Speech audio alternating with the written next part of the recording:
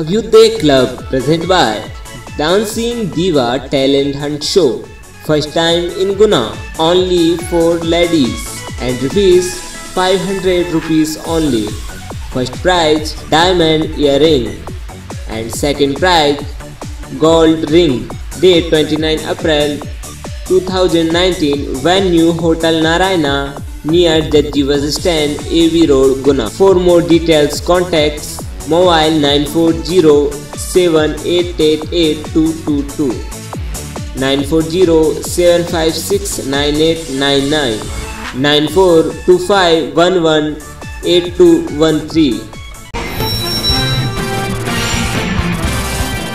मतदाता जागरूकता कार्यक्रम के अंतर्गत नगर पालिका परिषद और जिला प्रशासन ने मतदाताओं को पीले चावल देकर मतदान के लिए आमंत्रित किया। आज प्रियदर्शनी राजे सिंधिया का दौरा लगातार जारी रहा। आज भी वे मतदाताओं से रूबरू हुई। इंडियन डेंटिस्ट एसोसिएशन के सेमिनार में समाज सेवा का संकल्प लेकर सभी सदस्यों ने समाज सेवा की दिशा में कदम बढ़ाया। कांग्रेस के म्याना और बमोरी चुनाव कार्यालयों का शुभारंभ 23 अप्रैल को श्रम मंत्री महेंद्र सिंह सिसोदिया करेंगे।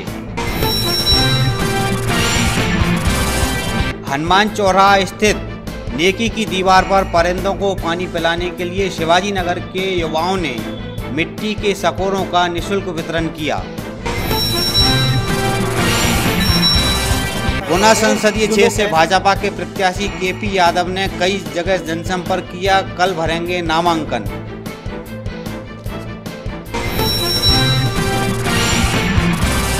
केदारनाथ सेवा मंडल के तत्वावधान में बड़े पुल के पास निशुल्क भोजन कराकर लोगों को मतदान करने का संकल्प दिलाया गया।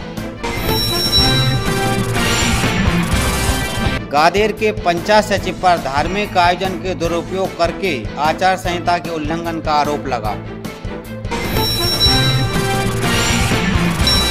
नगरीय विकास मंत्री जयवर्धन सिंह और राजगढ़ संसदीय सीट की कांग्रेस प्रत्याशी मोना सुस्ताना की उपस्थिति में कांग्रेस कार्यकर्ताओं की बैठक आगामी 23 अप्रैल को रावगढ़ में होगी। चांचौड़ा पुलिस ने अंधे कत्ल के आरोपी को गिरफ़्तार कर बड़ी सफलता प्राप्त की। विजयपुर थाना क्षेत्र के बिरसिंहपुरा गाँव में एक व्यक्ति और महिला को असामाजिक तत्वों ने मारपीट कर घायल किया। गुना की पुराना गल्ला मंडी के खुले नाले में गाय गिरने से घायल हुई ऐसी घटनाएँ अक्सर होती हैं। लोगों ने नाले को बंद करने की अपील की। मुनिश्री 108 विद्यासागर जी महाराज सत्संग का मंगल विहार आज शाम को रुठियाई से चांदखेड़ी की ओर हुआ। राघोगढ़ में जंजाली चौकी के पास ट्रक की टक्कर में तीन लोगों की मौत हुई।